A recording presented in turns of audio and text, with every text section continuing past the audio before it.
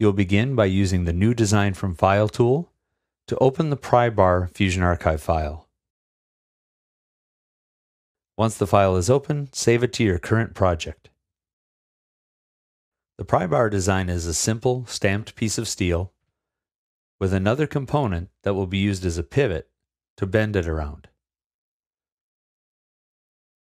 Switch to the simulation workspace and select Nonlinear Static Stress. Conducting a nonlinear static stress study is essentially the same process as a linear static stress study, but the material is different. Instead of the study being focused on finding what the yield point is for the material, the nonlinear analysis will go beyond that yield point and take a look at the material as an elastic material or as a plastic material, or when it transitions from being an elastic material that will return back to its original position and shape, or a plastic material that will be permanently deformed. We'll begin the process in the same way by selecting a study material. This time, you'll switch the material library to the Fusion 360 Nonlinear Material Library and select the steel standard structural for the pin and steel stainless for the pry bar. With these study materials selected, choose the Properties icon in the upper right. This will expand the dialog and allow you to click and view the advanced properties. In the Material Browser, select the Edit icon next to Steel Stainless. This will expose the properties of the material. And going to the Physical tab, you can go to the Advanced Properties. In this tab, you can choose what the material model is, what the behavior is, and what type of material it is. For the study, select Elastoplastic. This will give you the plastic parameters and the ability to change the hardening rule, as well as the yield function and what the yield criterion is. We'll select OK, knowing that we now have an elastoplastic material for the pry bar. Next, we'll set the contacts in the same way you would set them for any other static stress, placing a fixed constraint on the end of the pry bar and on the pin. Next, we'll choose the loads, selecting the faces interior to the slot on the end of the pry bar.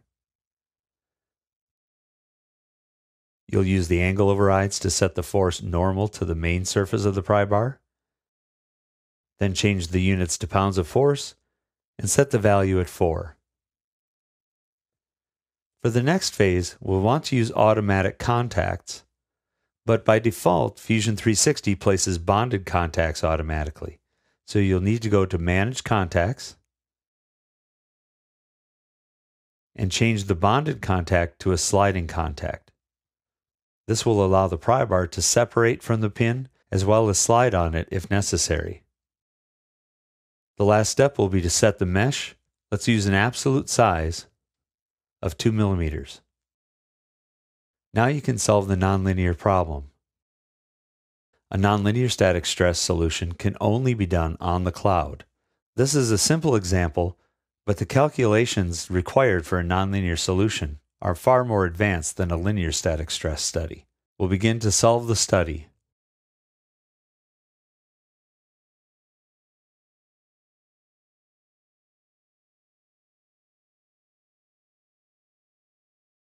When the study is complete, we'll see that the safety factor is fairly reasonable.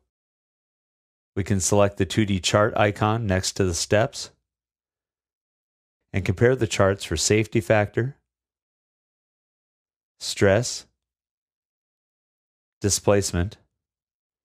And on all of them, we see that the behavior of the material is consistent and linear, graphing the stress and displacement with a straight line.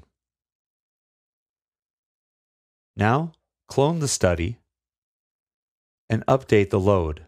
Instead of 4 pounds of force, make it 40 pounds of force. Then rerun the study on the cloud.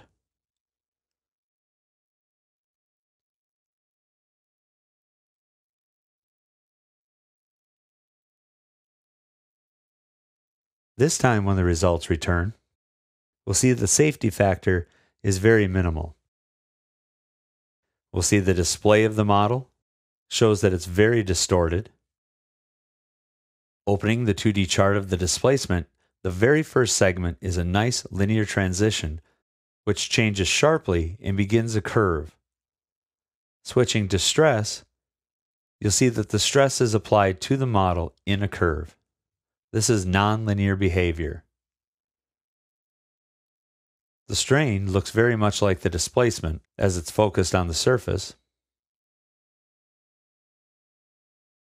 If you display an animation of the result, you'll see the area of the bend near the pin is in a more concentrated area instead of that bend being reflected in a larger portion of the body.